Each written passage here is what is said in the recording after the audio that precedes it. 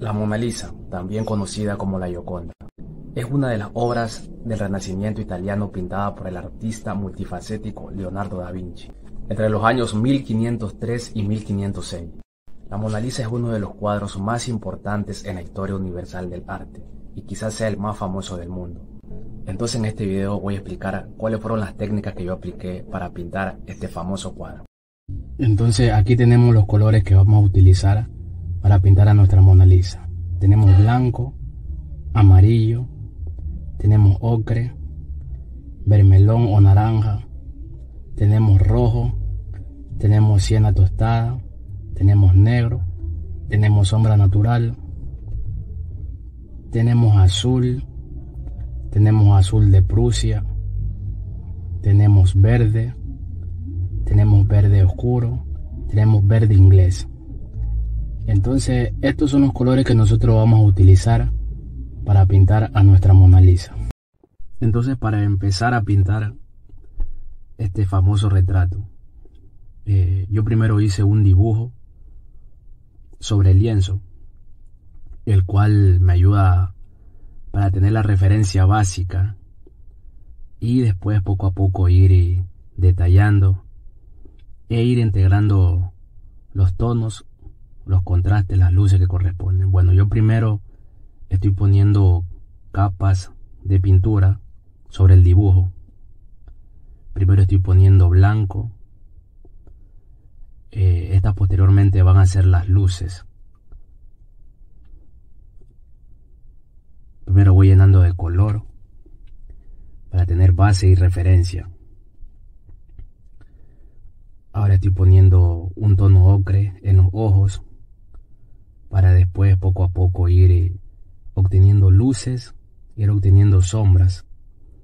Ahora voy manchando la parte de su cuello, la parte de su frente, los bordes de su cara.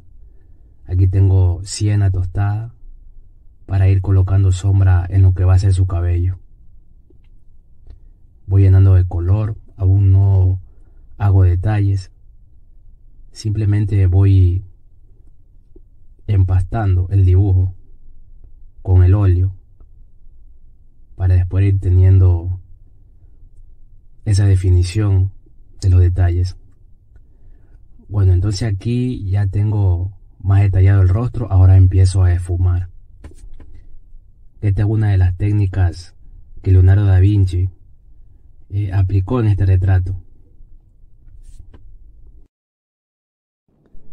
Ahora vamos a empezar a pintar las montañas y el paisaje que está en la parte de atrás. Bueno, este paisaje también tiene muchos misterios, eh, los cuales también han hecho muy famosa esta pintura. Vemos una atmósfera eh, muy cambiante que pareciera que no tiene sentido.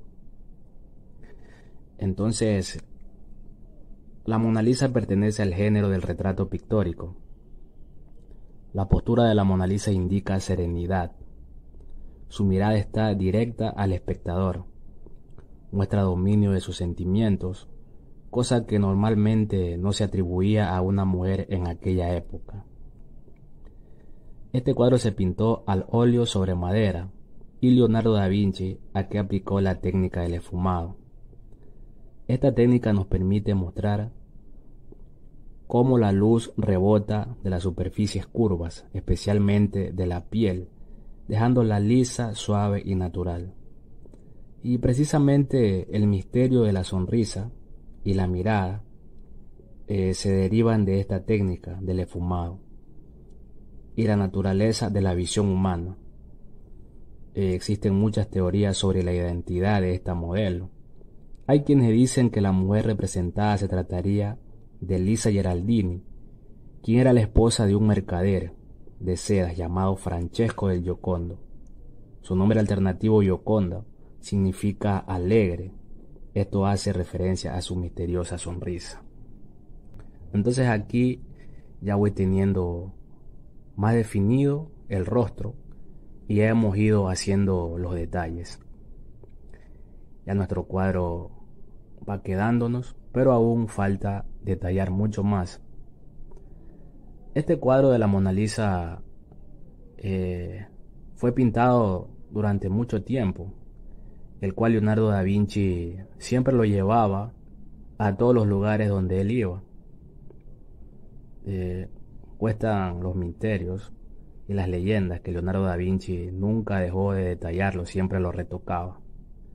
Aquí estamos pintando eh, su ropa, estamos haciéndole luces con amarillo, pintamos y luego esfumamos, precisamente la técnica del esfumado que comentábamos. Seguimos detallando su rostro, ahora estamos detallando su velo que ella tiene con ocre. Es importante detallar muy minuciosamente para que nuestra pintura tenga ese realismo. Uno de los secretos del realismo y del parecido son los detalles. Aquí estamos utilizando un pincel 00. Eh, primero tenemos una base de color de siena tostada, luego aclaramos con ocre. Ahora empezamos a sacar luces en su cabello con ocre. Después posteriormente aclararemos con blanco.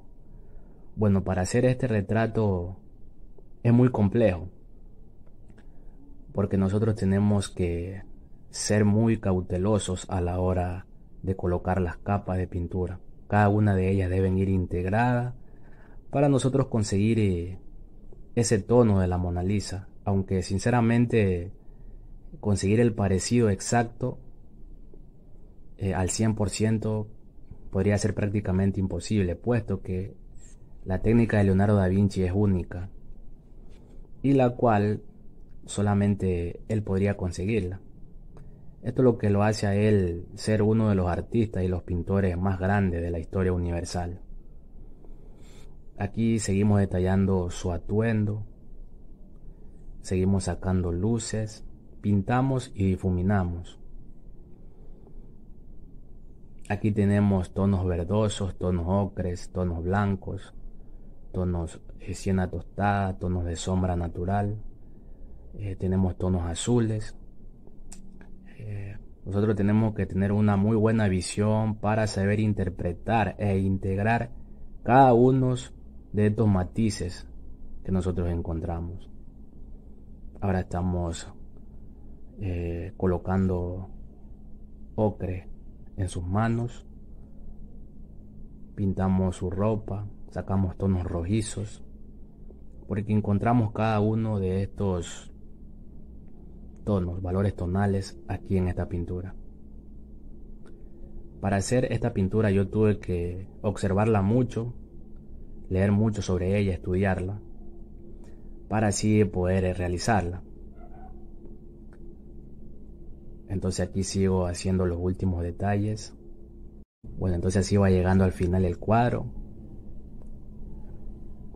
Espero que les guste este video y lo importante es que aprendamos algo. La Mona Lisa es uno de los cuadros más importantes de la historia universal. Y es tan representativo por su controversial misterio. Lo encontramos en el Museo de Lavaux, Francia, y es visitado por miles de personas todos los años. Muchas gracias por ver el video y nos vemos en la próxima.